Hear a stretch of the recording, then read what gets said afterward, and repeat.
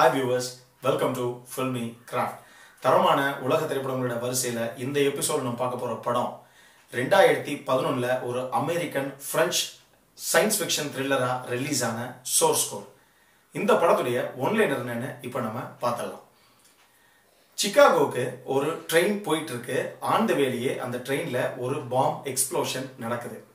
இதுக்கு காரணமான அந்த பாமர் யாரு அப்படிங்கிறத ஹீரோ கண்டுபிடிச்சாரா இல்லையா அப்படிங்கிறது தான் படத்துடைய ஒன்லைனர். இந்த படத்தை பார்க்காதவங்க இதோட கட் பண்ணிட்டு தைரியமாக எங்களை நம்பி இந்த படத்தை போய் நீங்க பாருங்க. உங்க லைஃப்ல மிகச்சிறந்த ஒரு படமா இந்த படம் நிச்சயமாக இருக்கும். இப்போ இந்த படத்துடைய டீடைல்டு பிளாட் ரிவ்யூ போகலாம். இந்த கதைக்குள்ள போறதுக்கு முன்னாடி இந்த படத்துடைய டைட்டிலான அந்த சோர்ஸ் கோடு அப்படின்னு இந்த படத்துல எதை மீன் பண்ணியிருக்காங்கிறத நான் உங்களுக்கு சொல்கிறேன் சோர்ஸ் கோடுங்கிறது ஒரு சாஃப்ட்வேர் ப்ரோக்ராம்ங்க அந்த ப்ரோக்ராம் வச்சு இவங்க என்ன பண்ண முடியும் அப்படின்னா சே ஃபார் அன் எக்ஸாம்பிள் ரெண்டு பேர் இருக்காங்க. Person A person B person A ஒரு பஸ் ஆக்சிடெண்ட்டில் இறந்துடுறாருன்னு வச்சுக்கோங்க. பர்சன் பி ஒரு நோயினால் ஏதோ ஒரு பிரச்சனைனால கோமா ஸ்டேஜில் இருக்கிறாரு. அவர் உடம்புல மூளையை தவிர எதுவுமே ஒர்க் ஆகல. கிட்டத்தட்ட மரண தருவாயில் இருக்காருன்னே சொல்லலாம். இவங்க மனித மூளைக்கு ஒரு சக்தி இருக்கு. அது என்ன அப்படின்னா இறக்கிறதுக்கு முன்னாடி கடைசியாக எட்டு நிமிஷம் என்னென்ன விஷயங்கள் நடந்தது அப்படிங்கிறத நம்மளுடைய மூளை அப்படியே ரெக்கார்ட் பண்ணி வச்சுக்குமா. இதை யூஸ் பண்ணி அந்த பஸ் ஆக்சிடென்ட்ல ஒருத்தர் இறந்தார்ல பர்சன் ஏ அந்த கடைசி எட்டு நிமிஷங்கள் அந்த பஸ்ல என்னென்னலாம் நடந்ததுங்கிற நிகழ்வுகளை அவர் பார்த்துப்பாரு இல்லையா? அந்த டேட்டாவை எடுத்து கொண்டு போய் கோமா ஸ்டேஜில் இருக்கிற பர்சன் பி உடைய மூளையில் இன்புட் பண்ணுறாங்க இதை பண்ணி இதனுடைய அவுட்புட்டை அவங்க என்ன எடுத்துகிட்டு வர்றாங்க அப்படின்னா பஸ் ஆக்சிடென்ட்டுக்கு முன்னாடி எட்டு நிமிஷத்துக்கு அந்த பர்சன் ஏ அந்த பஸ்ஸில் உட்காந்துருந்தார் இல்லையா? அவருடைய உடம்பு மட்டும் அங்கே இருக்குது மூளையாக நம்ம பர்சன் பி உடைய மூளையை உள்ள இன்புட் பண்ணுறாங்க இப்போ என்ன காரணத்துக்காக இந்த பஸ் ஆக்சிடென்ட் நடந்தது? இது தற்செயலாக நடந்ததா இல்லை பிளான் பண்ணப்பட்ட ஒரு ஆக்சிடென்டா அப்படிங்கிறத நம்ம கண்டுபிடிக்கலாம். அப்படிங்கிறதுக்காக இந்த சோர்ஸ் கோடுங்கிற ப்ரோக்ராமை இவங்க யூஸ் பண்ணுறாங்க இதுதாங்க அந்த படத்துடைய மெயின் கான்செப்டை இப்போ நம்ம கதைக்குள்ளே போகலாம்.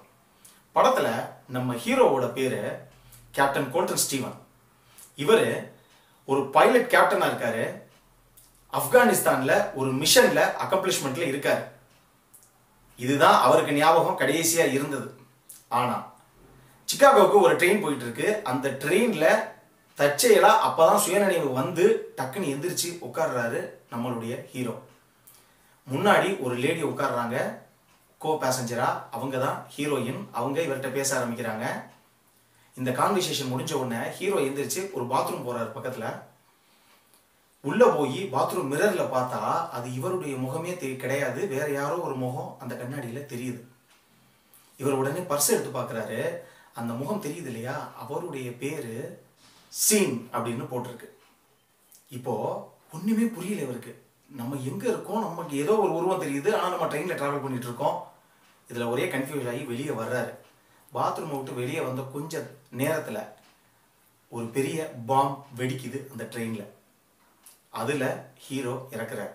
இறக்குறார் அப்படின்னா அடுத்த செகண்டே ஒரு கேப்சியூல் அப்படின்னு சொல்லப்படுற ஒரு காக்பிட் கேபின்குள்ள திருப்பி எந்திரிக்கிறாரு. இந்த இடத்துக்கு இப்போ திருப்பி எப்படி வந்தோங்கிறது ஹீரோவுக்கு புரியல. ஆனா அங்க ஒரு மானிட்டர் இருக்கு. அங்க ஒரு லேடி இருக்காங்க. அந்த லேடி இவர்கிட்ட பேச ஆரம்பிக்கிறாங்க. அவங்க கேட்குற முதல் கேள்வி என்ன கேப்டன் பாமர் யாருன்னு கண்டுபிடிச்சிட்டீங்களா? அப்படின்னு கேட்குறாங்க இவர் என்ன பாம்பு யார் பாமரு நீங்க யாரு? அப்படின்னு கேட்குறாரு அந்த லேடி திருப்பி சொல்றாங்க நீங்க உங்களுடைய நினைவுகளை கொஞ்சம் இழந்துட்டீங்கன்னு நினைக்கிறேன் கேப்டன் சோர்ஸ் கோடுக்குள்ள இருக்கும்போது இந்த மாதிரி ஞாபக மறதிகள் ரொம்ப சகஜம்தான். நாங்க உங்களுடைய ப்ரோக்ராமை ரீஆக்டிவேட் பண்றோம் அப்படின்னு சொல்லி இந்த தடவையாவது நீங்க போய் அந்த பாம்பர் யாருங்கிறத கண்டுபிடிச்சிட்டு வாங்க அப்படின்னு அவங்க சொல்றாங்க. இதுல ஒரு விஷயம் என்ன அப்படின்னா இந்த படத்துல லூப்னு சொல்லி ஒரு விஷயத்தை அவங்க யூஸ் பண்றாங்க ஒரு டேர்மை அது என்ன அப்படின்னா ஒரு நபர் நான் முதல்ல ஒரு எக்ஸாம்பிள் சொன்னேன் இல்லையா? பஸ்ல ஒருத்தர் போறாரு ஆக்சிடென்ட்ல இறக்குறாருன்னு. அந்த நபராக எட்டு நிமிஷத்துக்கு முன்னாடி உட்காந்து எட்டு நிமிஷத்துக்குள்ள அவருடைய லைஃப் ஆக்சிடென்ட்ல இறக்குறாரு பார்த்தீங்களா அந்த முடிவை இவங்க ஒரு லூப்னு கன்சிடர் பண்றாங்க. அந்த லூப் முடிஞ்சிருச்சுன்னா திருப்பி யாருடைய மூளையோ அது அவங்ககிட்டயே போயிடும். அந்த நினைவுக்கே போயிடும். இதுதான் இன்னொரு மெயின் கான்செப்ட் ஸோ லூப் ஒன்ல நீங்க கண்டுபிடிக்கல. இப்போ லூப் டூல நீங்க போய் கண்டுபிடிச்சிட்டு வாங்கன்னு சொல்லி ஹீரோவை திருப்பி அனுப்புறாங்க. அனுப்புனா திருப்பி அதே ட்ரெயினில் அதே பொசிஷனில் எதிர்க்கிறாரு அதே பொண்ணு முன்னாடி உட்காந்து பேச ஆரம்பிக்கிறாங்க. இவர் நேராக பாத்ரூம் போகிறாரு போய் ட்ரெயினில் பாம்பு பாத்ரூமுடைய சீலிங்க்கு மேலே இருக்குங்கிறத கண்டுபிடிச்சிடுறாரு ஹீரோ ஆனால் பாத்ரூம் விட்டு திருப்பி வெளியே வர்றாரு. வந்தால் எட்டு நிமிஷம் முடிஞ்சு போகுது. பாம் வெடிச்சிருது. வெடிச்சா அடுத்த செகண்ட் திருப்பி காக்பிட் கேபினில் இருக்காரு ஹீரோ இந்த வட்டமாவது நீங்கள் கண்டுபிடிச்சீங்களா கேப்டன் சொல்லி அந்த லேடி கேட்குறாங்க இல்லை என்னால் கண்டுபிடிக்க முடியல அப்படிங்கிறாரு. இப்போ மூணாவது தடவை அனுப்புறாங்க. மூணாவது லூப்ல திருப்பி போறாரு. போனா இந்த தடவை யாரோ ஒரு சந்தேகத்துக்குரிய ஒரு நபர் ஒருத்தர் அந்த இடத்துல இருக்காரு அப்படின்னு தெரிய போய் அவர் ட்ரெயினை விட்டு முந்தின ஸ்டாப்ல இறங்குறாரு ஸ்டேஷன்லயே இவரும் அவர் பின்னாடியே இறங்கி போறாரு. ட்ரெயின் கிளம்பிடுது. இங்கேருந்து ஒரு அரை கிலோமீட்டர் ஒரு கிலோமீட்டர் போனதுக்கு அப்புறம் ட்ரெயின்ல அந்த பாம்பு வெடிக்குது. ஆனா ஹீரோ அப்ப சாகல. ஆனா கொஞ்ச நேரத்துக்குள்ளேயே இவங்க ரெண்டு ஒரு சின்ன சண்டை வந்து அதுல அந்த இன்னொரு நபர் ஹீரோவை ட்ரெயினுடைய ட்ராக்ல தள்ளிவிட ஆப்போசிட்டில் வர இன்னொரு ட்ரெயின் அடிச்சு அங்கேயே இறக்குறாரு ஹீரோ இறந்த தருணத்தில் திருப்பி காக்பிட் கேபினில் எந்திரிச்சு பார்க்குறாரு இந்த மாதிரி பல லூப்புகளில் ஹீரோவை அனுப்புகிறாங்க எப்போ வரைக்கும்? இந்த ட்ரெயினுக்கு பாம்பர் யார்? யார் பாம் வச்சு இந்த ட்ரெயின் இப்படி வெடித்து இவ்வளோ உயிர்கள் போச்சுங்கிறத ஹீரோ கண்டுபிடிக்கிற வரைக்கும். இதுதான் படத்துடைய மொத்த ஸ்டோரியே ஆனால் இந்த படத்தில் ஆடியன்ஸுக்கு சந்தேகமாக கொஞ்சம் புரியாமல் கன்ஃபியூஷனாக இருக்கிற சில கான்செப்ட்ஸ் இருக்குது அதை மட்டும் நான் உங்களுக்கு கிளியராக சொல்கிறேன் ஒன்று நான் சொன்ன மாதிரி இந்த சோர்ஸ் கோட்னா என்ன? எங்கேயோ இருக்க ஒருத்தர் எப்படி சார் திடீர்னு ட்ரெயினில் போய் உட்கார முடியும்? அப்படின்னு அந்த ஒரு கான்செப்ட் இருக்கு இல்லையா? அதை நான் ஏற்கனவே உங்களுக்கு எக்ஸ்பிளைன் பண்ணிட்டேன். அதுதான் பாயிண்ட் நம்பர் ஒன்று பாயிண்ட் நம்பர் ரெண்டு. இவர் சில தருணங்களில் இந்த போகிற லூப்ஸில் சில லூப்ஸில் இவர் ட்ரெயினை விட்டு இறங்கி எல்லாம் போயிடுவார். இப்போ நான் முதல் சொன்ன சீன் மாதிரி. ட்ரெயினை விட்டு வெளியே இறங்கி போனதுக்கப்புறமும் எப்படிங்க அவர் காக்பிட் கேபினுக்கு வந்தார்? எட்டு நிமிஷம் கழிச்சு. அப்படின்னா ட்ரெயினில் இருக்க பாம்புனால இறக்கலைனாலுமே வேலை சில காரணங்கள்ல உதாரணத்துக்கு ஒருத்தர் இவரை சுற்றுவார் ஒரு லூப்பில் இவர் போகும்போது. இன்னொரு தடவை நான் சொன்ன மாதிரி அந்த நபர் இவரை தண்டவாளத்தில் பிடிச்சி தள்ளி விட்டுருவாரு ரெண்டாவது லூப்பில் இந்த மாதிரி எப்படியாவது ஒரு தருணத்தில் இவருக்கு மரணம் வந்ததுனால தான் இவர் திருப்பி திருப்பி கேபினுக்கு வந்து சேருவார் காக்பிட் கேபினுக்கு மூணாவது பாயிண்ட்டு இவர் ஒரு ஒரு தடவையும் இறந்ததுக்கப்புறம் ஒரு காக்பிட் கேபினுக்கு வர்றாரு இல்லையா? அப்படி ஒரு கேபினே உண்மையாக கிடையாது. இவராக மைண்டுக்குள்ளே அப்படி ஒரு இடம் இருக்குது அங்கே ஒரு லேடி நம்மகிட்ட பேசிகிட்டு இருக்காங்கங்கிறத இவருடைய ஓன் இல்யூஷன் தான் அது.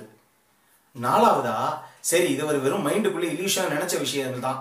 ஆனால் ஒரு டிஸ்கஷன் அந்த லேடிக்கும் இவருக்கும் அந்த கேபின்குள்ளே ஓடுறதா நமக்கு சீன்ஸ் காமிக்கப்படுது இல்லையா? அது என்ன அப்படின்னா இவருடைய மூளையில் என்ன நினைக்கிறாரோ என்ன பேசணும் இவர் நினைக்கிறாரோ அது எல்லாமே கம்ப்யூட்டரில் கீ பண்ணப்பட்டு வேர்ட்ஸாக அவங்களுக்கு வெளியே வருது.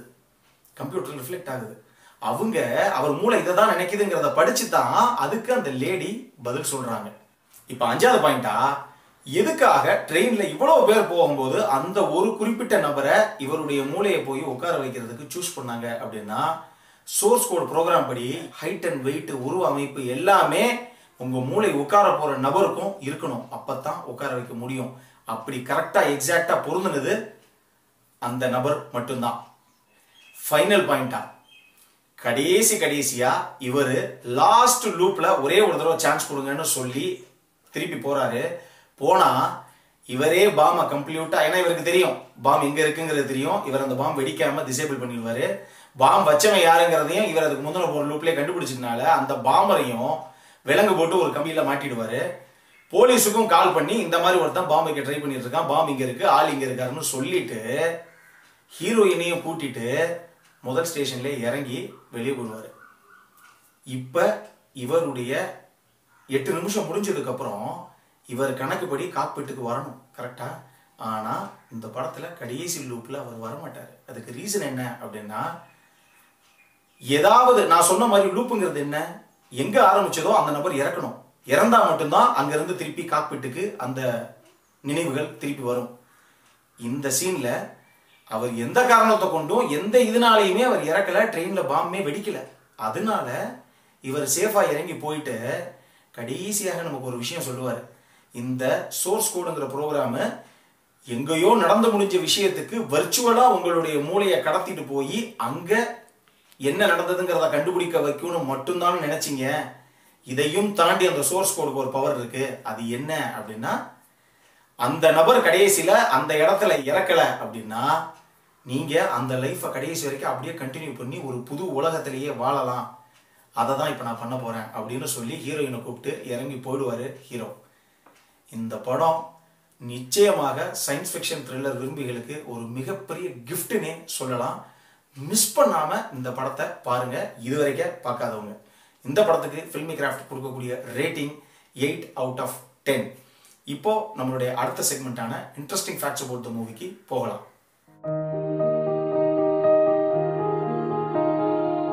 இந்த வீடியோ பிடிச்சிருந்ததுன்னா லைக் பண்ணுங்க. ரொம்ப பிடிச்சிருந்ததுன்னா உங்க ஃப்ரெண்ட்ஸ் எல்லாத்துக்கும் ஷேர் பண்ணுங்க.